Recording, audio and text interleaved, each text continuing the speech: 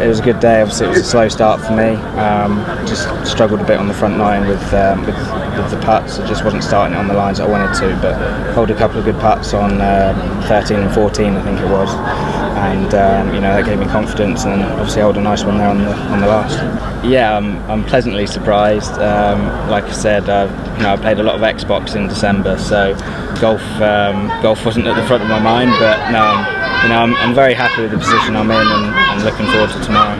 Um, I'd say my bad shots haven't actually been that bad.